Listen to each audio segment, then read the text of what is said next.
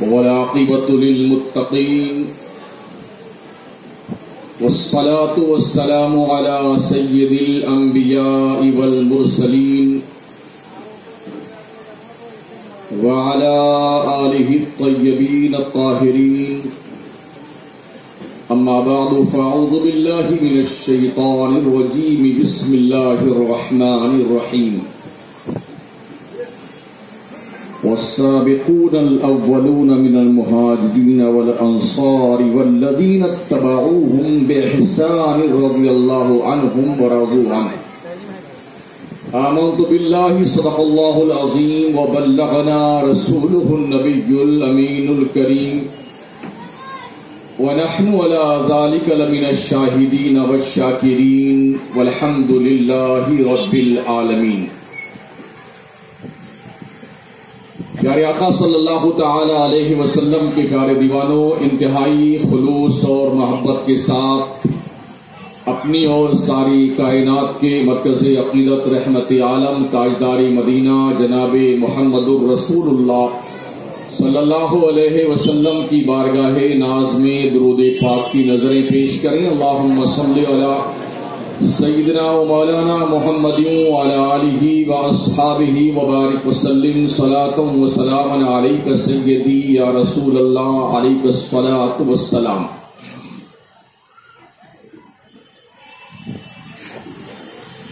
تو بے مشرفہ کی بات قرآن حکیم کی ایک آیت شریفہ کے ایک حصے کی تلاوت کا شرف میں نے حاصل کیا ہے۔ آج خلیفہ دوم، مراد رسول، انتخاب مصطفیٰ، حضرت سیدنا عمر ابن خطاب رضی اللہ تعالی عنہ، الملقب فاروق اعظم کی ذات ستودہ صفات کے متعلق کچھ گزارشات مجھے پیش کرنی ہے۔ میں نے قرآن عظیم کی جو آئے مبارکہ کا حصہ تلاوت کیا ہے، اللہ تبارک و تعالیٰ ارشاد فرماتا ہے، والسابقون الاولون من المہاجرین والانصار انصار و مہاجرین میں سے پہلے کے وہ لوگ جنہوں نے سبقت حاصل کی اسلام کی پیروی کرنے میں اور وہ لوگ جنہوں نے ایسے لوگوں کی پیروی کی اچھے ڈھنگ سے تو اللہ ان سے راضی ہوا، وہ اللہ سے راضی ہوئی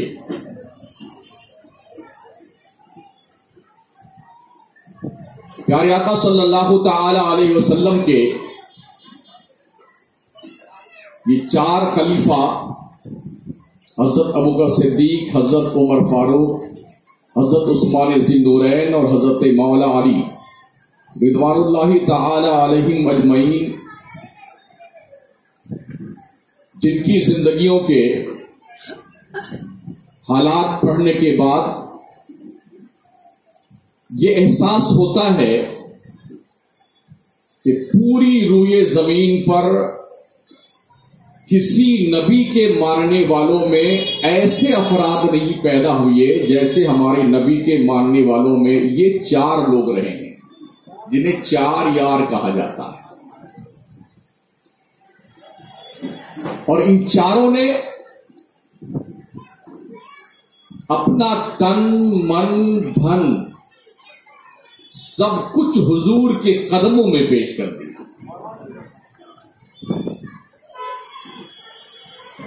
کسی چیز سے محبت اور لگاؤ نہ رہا اس کو بس جس کو چاہتے تھے، وہ مقصد ایک تھا کہ یہ حضور کی قدموں میں پیش کر دیا جائے، حضور کی بارگاہ میں پیش کر دیا جائے۔ یہ وطیرہ عمل ان کی زندگی کے آخری لمحات تک رہا ہے، جو نبی کے خلفائے راشدین رہے۔ حضرت عمر فاروق اعظم رضی اللہ تعالیٰ عنہ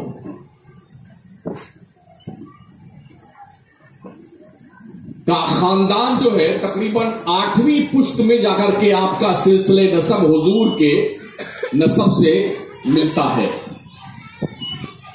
ان کی والد جو خطاب تھے مکے کی سرزمین پر انہیں بھی کچھ امتیازی خصوصیات حاصل تھی بہادر تھے اور مکہ کے لوگوں کا ایک مزاج تھا۔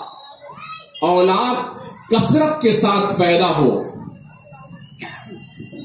اس کے لیے وہ کثرت کے ساتھ شادیاں کرتے تھے۔ چار چار، پانچ پانچ، دس دس، بیس بیس، تاکہ اولاد زیادہ ہوگی تو دشمن کو مارنے کے لیے افراد کی کمی نہیں رہے گی۔ یہ ایک سوچ تھی اس زمانے میں اور اس سوچ کے پیش نظر ان لوگوں نے یہ طریقہ اپنا رکھا تھا۔ اور اسی تناظر میں ہم نے جو پڑھا ہے وہ یہی ہے کہ ایک خاندان کی لڑائی دوسرے خاندان سے اس طرح پشتینی چلتی تھی کہ پردادا نے کسی کو قتل کیا تھا تو پڑ پوتے لکڑ پوتے، دھکڑ پوتے اس کے خاندان کے ایک آدمی کو ضرور قتل کرتا تھا تاکہ اس کا بدلہ چکایا جا سکے۔ یہ ایک مزاج تھا مکہ کے لوگوں کا۔ لیکن اللہ کے نبی سید عالم صلی اللہ تعالی علیہ وسلم جب اس ماحول میں تشریف لائے اور آپ نے اپنے اخلاق کریمانہ کی بنیاد پر لوگوں کے دلوں کو جیتا اور لوگوں کے دلوں کے تختی پر اللہ کی طرف سے اخلاص، محبت، مربت، انسانیت اور شرافت کی جب تحریر لکھی نا، تو آپس میں یہ سارے جو دشمن تھے ایسے شیر و شکر بن گئے کہ امتیاز کرنا مشکل تھا کہ اس میں دوست کون تھا دشمن کون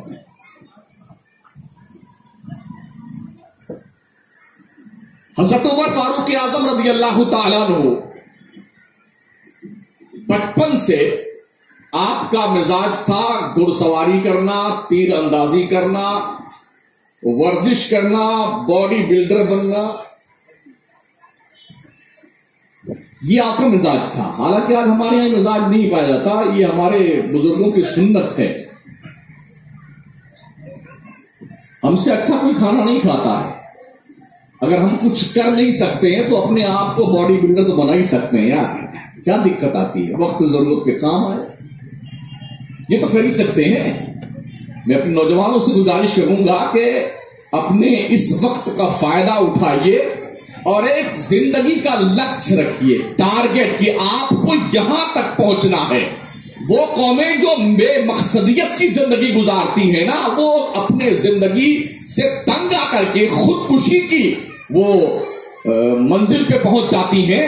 اس لیے اپنا ایک نشانہ بنائیے، ایک ٹارگیٹ رکھیے کہ ہمیں یہاں تک پہنچنا اور یہ کیا کرنا ہے۔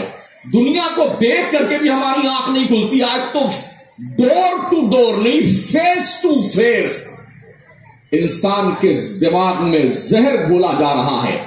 ہم یہ نہیں کر سکتے، ہمارا اسلام اس بات کی اجازت نہیں دیتا ہے۔ یہ دماغوں میں زہر بولے جائیں۔ ہمارا اسلام یہ پیغام دیتا دل اور دماغ میں محبت کی آمیزش تو پیدا کی جا سکتی ہے۔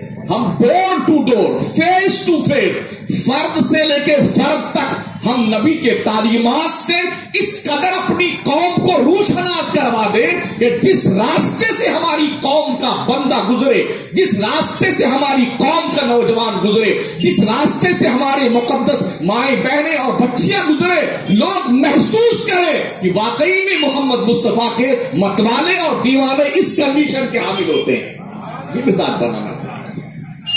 آج دنیا کو بڑی تکلیف ہے نا، نقاب مسلم بچی پہنتی ہے، دل لوگوں کے جلتے ہیں۔ برقع مسلمان کی عورت پہنتی ہے، موت کسی اور کو آتی ہے۔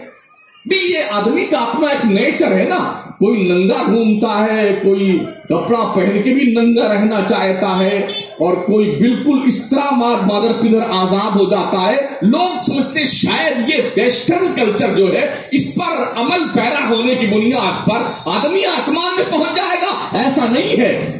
پردے میں رہنے کی بنیاد پر اسلام نے پردے کو عورت کے لیے، مسلم خاتون کے لیے، اس کے تقدس کی حفاظت کے لیے، آبرو کو محفوظ کرنے کے لیے عزت ماپ زندگی گزارنے کے لیے اور اس کے عزت و ناموس کے لیے پردے کو لازم قرار دیا ہے۔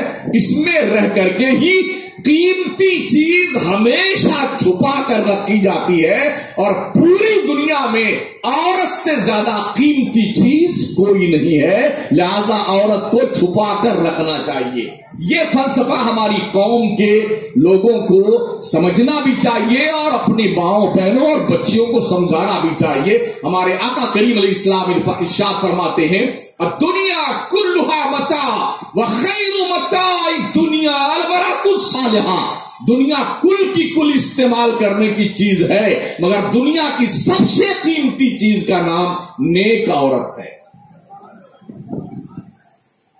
نیک عورت وہ ہوتی ہے جو پردے میں رہتی ہے۔ نیک عورت وہ ہوتی ہے جو کنیز فاطمہ ہوتی ہے۔ نیک عورت وہ ہوتی ہے جو اس وے محمدی کا آئینہ دار ہوتی ہے۔ نیک عورت وہ ہوتی ہے جس راستے سے گزرے تو محسوس ہو کوئی مسلم عورت گزر رہی ہے۔ میرا عنوان یہ نہیں ہے۔ مگر یہ عرض میں کرنا چاہتا ہوں کہ ہمیں اپنی زندگی میں کن کن چیزوں کا بدلاؤ کرنے کی ضرورت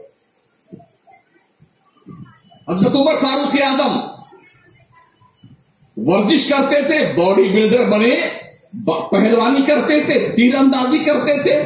تیراکی کرتے تھے گھڑ سواری کرتے تھے اور جب بازار اوکاز میں سالانہ میلہ لگتا تھا، تو اس میلے میں پہنچ کر کے اپنی شجاعت اور بہادری کے جوہر دکھاتے تھے۔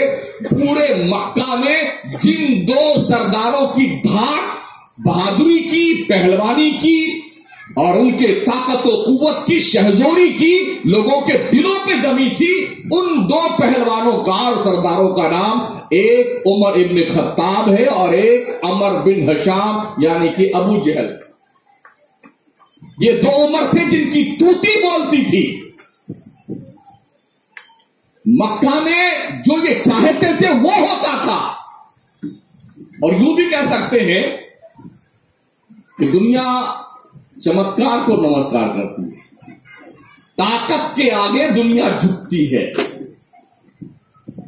ہمارے پاس سب سے بڑی طاقت اسلام کی ہے۔ مگر ہم سب کے سامنے جھکتے ہیں، کوئی ہمارے سامنے نہیں جھکتا۔ اس کا مطلب یہ ہے کہ ہم ابھی تک اسلام کے صحیح ڈگر پہ چل کر کے اپنے آپ کو اس دائرے میں لے کے نہیں آ پائے ہیں، جہاں پر پہنچنے کے بعد زمانہ جھک کر سلامی پیش کرتا ہے۔ بالکل لیٹسٹ معاملہ ہے ابھی۔ کہاں چل رہا ہے کوئی بوریوں کا وہ مہا سبھا ہندور میں ہاں ایم پی میں۔ دیکھ رہے ہیں کیسے ادب کے ساتھ پہنچے ہیں لوگ۔ شانے اوڑ کر کے سر نیاز کھم کیے ہوئے ہیں لوگ۔ کیوں؟ اتحاد بہت بڑی طاقت ہے۔ ہمارے پاس وہ نہیں۔ ہمیں اس کو حاصل کرنے کے لیے سائے پہ ہم مسلسل کرنے کی ضرورت ہے۔ وہ حضرت فاروق اعظم رضی اللہ تعالیٰ پورے مکے میں اپنی شہزوری کی بنیاد پر پہچانے جاتے تھے۔ لیکن جب ان کو یہ محسوس ہوا کہ مکے میں محمد صلی اللہ تعالی علیہ وسلم نے جو ایک خدا کی عبادت کا اعلان کیا ہے اور ہمارے معبودوں کو برا کہتے ہیں فکری اعتبار سے جو مزاج تھا وہاں پر حضرت عمر کا، وہ یہ تھا کہ اپنے باپ داداؤں کی روش پہ بہت سختی سے عمل پیراتے ہیں۔ جیسے آج ہمارا سنی اپنے باپ داداؤں کی روش پر اتنا سختی سے عمل پیرا ہے کہ پردادا، لکڑ دادا تازیہ رکھتے تھے تو کارخانہ بند کر کے بیٹے بھاگے یو پی تازیہ رکھنے کے لیے، ڈھول بجانے کے لیے، ہے نا؟ بہت سختی سے باپ داداؤں کی روش کو زندہ کرنے کے لیے۔ ارے، اگر اس میں زندگی ہوتی تو اس کو زندہ کرنے کی ضرورت ہے۔ اس زندگی کو زندگی نہیں، یہ تو موت کے مترادف ہے لوگوں۔ ایسی روش کو زندہ کرنے کی کوئی ضرورت نہیں ہے، جس میں بے حیاں ہو بے غیرتی ہو، بے شرمی ہو، اسلام کا خون ہوتا ہو، قانون مصطفیٰ کا النگن ہو کر کے بازار میں گھومتی ہو، ایسے باپ داداؤں کی پرمپرا کو پیروں تلے روندنے کی ضرورت ہے، بھلائی اس میں ہے۔ کچھ نہیں ہوتا ہے۔ تو بڑے کٹر قسم کے تھے حضرت عمر، اپنے باپ داداؤں کی روش کو قائم رکھنے کے لیے۔ جو مکے میں حالات تغیر پذیر ہوئے تھے اسلام کے آ جانے کی بنیاد پر، یہ بات ان تک بھی پہنچتی تھی۔ ایک کنیز نے، جس کا نام لوبینا تھا، اس نے اسلام قبول کیا۔ تو اتنا مارتے تھے، اتنا مارتے تھے، مارتے مارتے تھک جاتے تھے، پھر بیٹھتے تھے سستانے کے لیے۔ پھر کہتے تھے روجا تھوڑا سستا لیتا تو پھر مارتا پھر مارتے، تھک جاتے، مارتے مارتے اور پھر بیٹھ کے سستاتے تھے، یہ مزاج تھا عمر کا۔ اسلام دشمنی میں اتنے زیادہ آگے جا چکے تھے، جس کسی کو سن لیتے کہ فلاں مسلمان ہوا ہے، جہاں موقع پاتے، اس کی خوب پٹائی کرتے تھے۔ یہ کام صرف عمر کا ہی نہیں تھا، مکہ کے ہر اس کافر کا تھا جو اللہ کے نبی کے لائے ہوئے دین کو مٹانے کا عزم بل جزم رکھتے تھے۔ تو ہر اس شخص کا ایک مزاج تھا کہ جیسے کسی کو سنتے فلاں مسلمان ہوا ہے، تو اس کے درپے آزار ہو جاتے تھے۔ جیسے بند پڑتا، ویسی تکلیف دیتے۔ لیکن عمر جب یہ دیکھتے کہ اتنا مارنے کے بعد بھی یہ کنیز سے مس نہیں ہوتی ہے، تو پھر کچھ دیر کے لیے سوچتے یار، کیا بات ہے؟ کیا وجہ ہے؟ محمد نے صرف کلمہ پڑھا کر کے کون سی طاقت پیدا کر دی ہے ان کے دلوں میں کہ اتنا چوٹ کھانے کے بعد بھی اس ڈگر کو چھوڑنے کے لیے تیار نہیں ہے؟ یہ سوچتے تھے، یہ احساس ان کو ہوتا تھا۔ کئی لوگوں کے ساتھ ایسا معاملہ پیش آیا۔ جب بالکل یہ شباب کی منزل میں تھے عمر، اور ہمارے نبی صلی اللہ تعالی علیہ وسلم نے اسلام کے متوالوں کی جب غربت اور ان کی کمزوری اور ان پر ہونے والے ظلم و تشدد کو دیکھا، تو میرے نبی نے اپنے رب کریم کی بارگاہ ناز میں اپنے دستے مبارک کو بلند کر کے مولا سے دو عمر میں سے ایک عمر کو مانگا تھا۔ اللہ سے عرض کی میرے نبی نے اللہ عز الاسلام بے عمر ابن الخطاب او بے عمر ابن حشام اے اللہ، اسلام کو عزت دے دے۔ دو عمر میں سے کسی ایک کو مسلمان کر دے۔ نبی نے یہ نہیں کہا تھا کہ فلاں کو کر دے، فلاں کو کر دے۔ لیکن نبی کی اس دعا کا اثر یہ ہوا کہ رب نے عمر ابن خطاب کو مسلمان کیا۔ یہی دور تھا جب نبی نے دعا مانگی تھی اور عمر ایک ایک کو پیٹ رہے تھے مسلمانوں کو کنیزوں کو، غلاموں کو، آزادوں کو، جو مسلمان سب کو پیٹ رہے تھے۔ مکہ میں کافروں نے مل جل کر کے ہی میٹنگ کری تھی نا۔ ارے، کیا کیا جائے؟ یہ تو زور بڑھتا جا رہا ہے اسلام کا۔ مسلمان میں اضافہ ہوتا جا رہا ہے۔ مسلمان بڑھتے جا رہے ہیں۔ آج بھی دنیا بڑی فکر مند ہے۔ مسلمان بہت بڑھ رہا ہے دنیا۔ ہندوستان میں اس کی وہ جو ہے، جن سنکھیا بڑھتی جا رہی ہے، تو یہ کرنا چاہیے، وہ کرنا چاہیے۔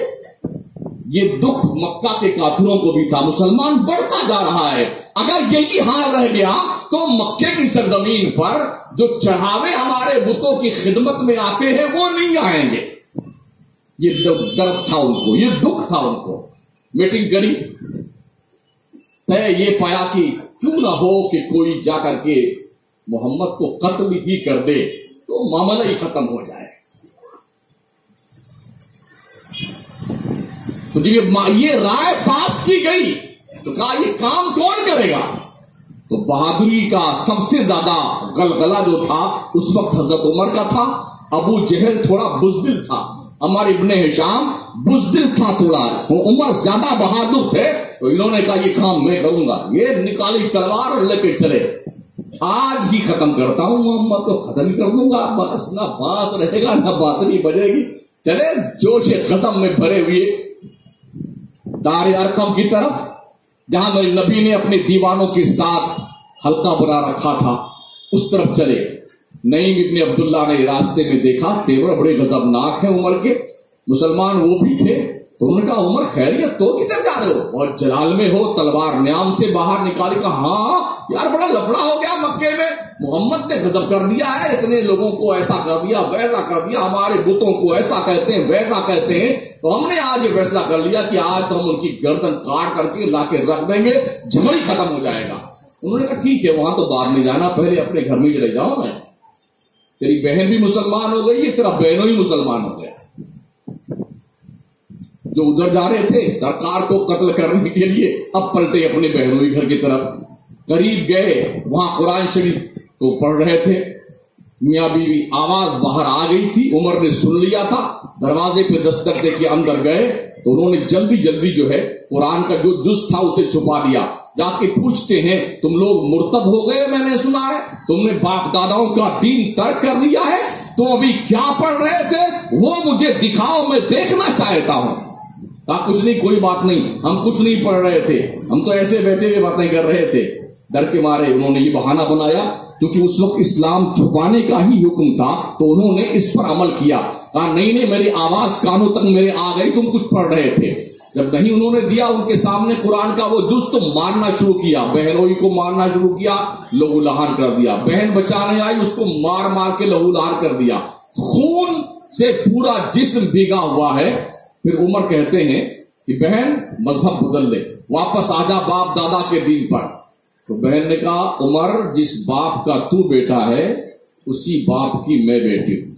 میرے جسم کی ایک ایک بوٹی بھی کاٹ دینا تو اللہ کی قسم اسلام سے میں پھر نہیں سکتی۔ اسلام سے پھر نہیں سکتی۔ تیرے جی میں آئے جو کر لے۔ جب نشہ اسلام کا چڑھتا تھا نا، تو یہ مزاج ہوتا تھا مسلمان کا۔ جسم کے ٹکڑے ٹکڑے ہو جاتے تھے۔ اسلام سے آدمی منحرف نہیں ہوتا تھا۔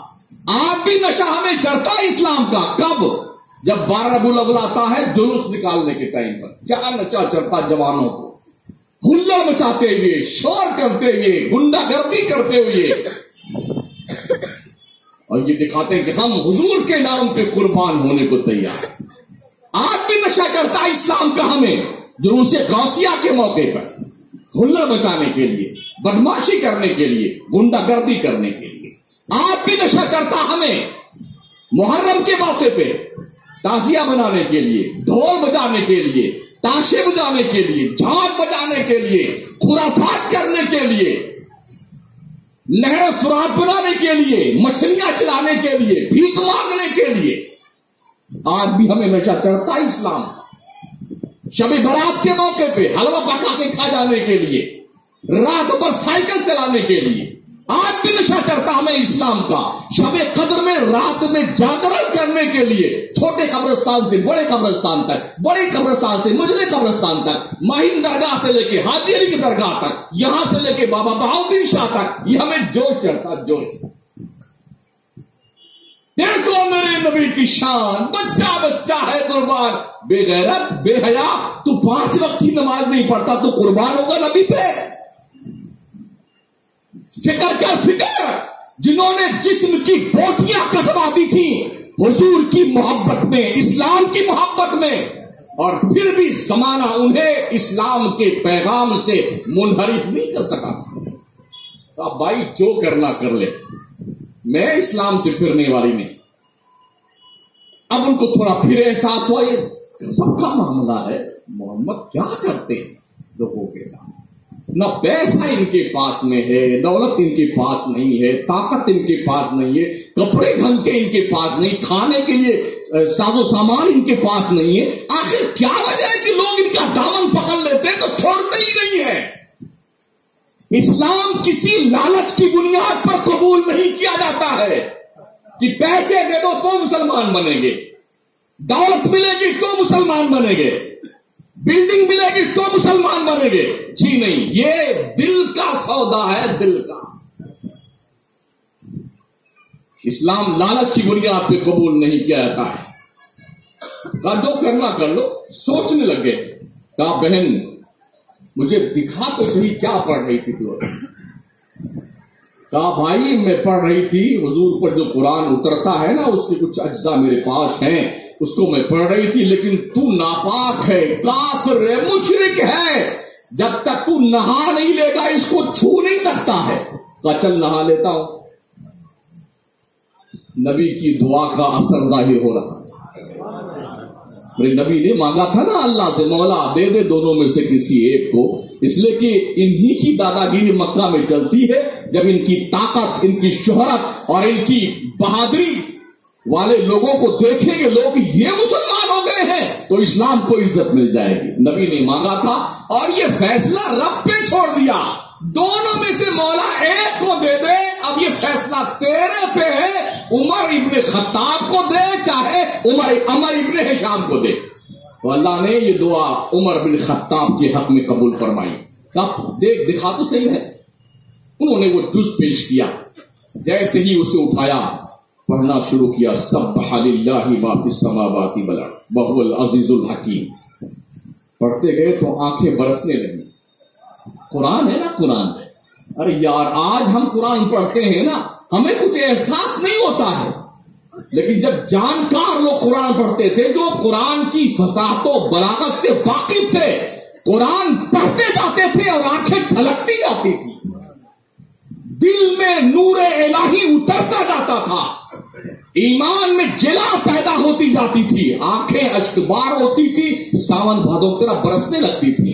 آج ہمیں قرآن پڑھنے کے بعد نہ ڈر لگتا ہے، نہ احساس ہوتا ہے، نہ یہ پتا چلتا کہ اللہ ہم سے کہہ کیا رہا ہے، نہ یہ معلوم ہوتا ہے اس قرآن کی عظمت اور فضیلت کیا ہے۔ بس ہم نے اس کو مردوں کی بخشش کے لیے سلیکٹ کر رکھا ہے۔ جب کوئی مر جائے گا تو بیٹھے گے قرآن کھانے کے لیے۔ روز آنا کسی نہ کسی نماز کے ٹائم اعلان ہوتا ہے، آج ظہر کی نماز کے بعد مقتدیوں سن لو، فلاں مرحوم کی سال ثواب کے لیے قرآن کہانی عشا بات قرآن کہانی ہے، مغرب بات قرآن کہانی ہے۔ بس ہم نے اسی کام کے لیے قرآن کو محفوظ رکھا ہے۔ قرآن ہمارے مردوں کی بخشش ہی کے لیے نہیں آیا ہے۔ قرآن ہماری ہدایت، کامیابی اور بلندی تک پہنچانے کے لیے آیا ہے۔ اللہ سے رشتہ غلابی مضبوط کرنے کے لیے آیا عمر پڑھتے گئے، آنکھیں برستی گئی اور جب یہاں پہنچے، آمینو باللہ و رسولی، اتنا پڑھا ہی تھا۔ بہن، لے چل محمد کی بارگاہ میں، یہ میں بھی مسلمان بننا چاہتا بہن کی خوشیوں کا کوئی ٹھکانہ نہ رہا۔ ابھی چند لمحے پہلے جس بھائی نے مار مار کے زخموں سے چور کر دیا تھا لیکن آپ محسوس کریں، انہیں اب اپنے زخموں کا احساس نہ رہا، اس خوشی میں کہ بھائی نے اسلام قبول کر لیا۔ چلیے، تلوار باہر تھی پہلے ہی سے، اسی حال میں حضور کی کے دار ارکم کی طرف جا رہے ہیں۔ حضرت امیر حمزہ، دیگر صحابہ جو اس وقت مسلمان ہو چکے تھے، انہوں نے کہا ارے عمر آ رہا ہے، عمر۔ تلوار بھی ننگی نکالے ہوئے ہے کہیں خطرہ تو نہیں ہے اس کے ذریعے سے۔ حضرت امیر حمزہ نے کہا، آنے دو۔ آنے دو، کیا فرق پڑنے والا ہے؟ اگر اچھی نیت ہے تو سبحان اللہ، اور نیت خراب ہوئی تو اس کی تلوار سے اس کی گردن مار دوں گا۔ جوش دیکھیے، جوش۔ حضرت امیر حمزہ۔ آئے، مگر نظریں جھکی ہوئی۔ تھی وہ عمر جس کی بہادری کا شہرا پورے حجاز میں تھا اب آئے ایمان قبول کرنے کے لیے اس لیے کہ اسلام جس کے دل میں آتا ہے اسے غرور سے آزاد کر دیتا ہے، اسے نخوت سے آزاد کر دیتا ہے۔ اس انسان کو ایسا آجز اور منکسر مزاج بنا دیتا خدا کی بارگاہ کرم میں کہ سر جھکا ہوتا ہے، دل بھی جھکا ہوتا ہے، نظریں بھی جھکی ہوتی ہے اس بات کا احساس دلانے کے لیے بزرگی اس رب کو زیب دیتی ہے، جس سے بڑا کوئی نہیں۔ سر جھکا ہے۔ نظریں نیچی کی ہوئی ہیں۔ ادب کے ساتھ دروازے پہنچے۔ صحابی نے جا کے اندر اطلاع دی، یا رسول اللہ عمر آیا ہے، تلوار بھی ننگی لے کے آیا ہے۔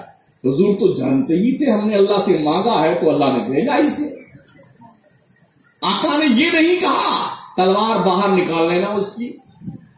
نیام سے باہر ہے، تلوار پہلے چھین لینا، کہیں خطرہ نہ کر دے آج کتنی خیریت ہوتی ہے۔ ایک منسٹر ایک مکھ منتری، ایک پردھان منتری کہیں جاتا نا، کتنے کروڑوں روپے خرچ ہوتے، کتے پہ، بلی پہ، گدھوں پہ، کس کس پہ خرچ ہوتے پیسے؟ سیکورٹی کے لیے، حفاظت کے لیے، بچاؤ کے لیے۔ مگر یہ کائنات کا تاجدار ہے، خدا کا محبوب ہے۔ اٹھارہ ہزار عالم کا دولہ ہے محمد، اتنا بے نیاز ہے۔ آنے تو نہیں سال میں اوپر آ رہا ہے حضور تلوار ننگی کا آنے دو۔ آئے جھکتے ہوئے عمر نے کندھے پہ ہاتھ، عمر کے کندھے پہ نبی نے ہاتھ رکھا۔ کہا، عمر، کیا ارادہ ہے؟ کہا، حضور غلامی میں داخل ہونے کے لیے آیا۔ اتنا کہا تھا نا۔ اتنی تیز آواز میں صحابہ نے نعرہ لگایا۔ نعرے تکبیر کے مکہ کی پہاڑیاں گونج گئی تھی۔ حدیث شریف میں آیا مکے کی پہاڑیوں میں گونج پیدا ہو گئی گونج۔ پتا ہے جگہ جب کوئی بات خوشی کی میسر آتی ہے تو اس موقع پہ اللہ کی پاکیزگی زور سے بولنا بڑائی بیان کرنا یہ صحابہ کی سنت کریمہ۔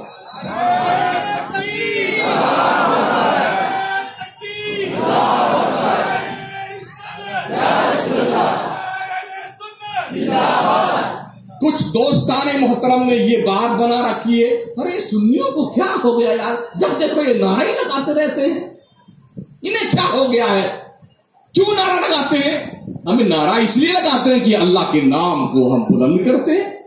کفار کہتے تھے، اولو حبل اولو حبل یعنی حبل کو بلندی ہو، لات کو بلندی ہو، منات کو بلندی ہو، اس عزا کو بلندی ہو۔ اور مسلمان کیا کہتا تھا؟ نعرہ تکبیر۔ اللہ کے نام کا نعرہ لگاتا، تو سارے صحابہ جواب دیتے، اللہ اکبر۔ اے کافرو، سن لو، نہ لات کو بلندی، نہ منات کو بلندی، نہ اس ذات کو بلندی، نہ حبل کو بلندی بلندی اس رب کی ذات کو ہے جس سے بڑا کوئی نہیں۔ اسلام قبول کیا، تو سارے صحابہ خوش تھے، کیونکہ ایک مضبوط اور مستحکم طاقتور شخص اسلام قبول کر چکا۔ تھا کچھ دور بیٹھے رہے۔ وہ مراض کرتے ہیں، یا رسول اللہ علیہ سلاط وسلام کیا اسلام حق نہیں ہے؟ کہا ہے۔ کیا اللہ سچا نہیں کہا ہے؟ کیا کیا مسلمان حق پر نہیں؟ کہا ہے۔ تو حضرت عمر حضرت یا رسول اللہ، پھر مسلمان چھپ چھپ کے اللہ کی عبادت کیوں کرتا ہے؟ ہم کھل کے عبادت کریں گے، کعبہ میں چلتے ہیں، حرم میں چلتے ہیں۔